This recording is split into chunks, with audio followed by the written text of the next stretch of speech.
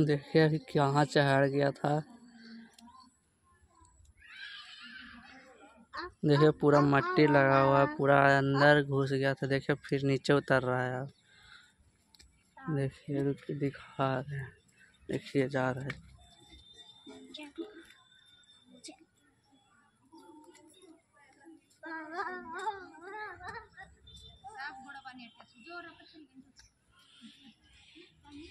जा रहा है जो देखिए अभी।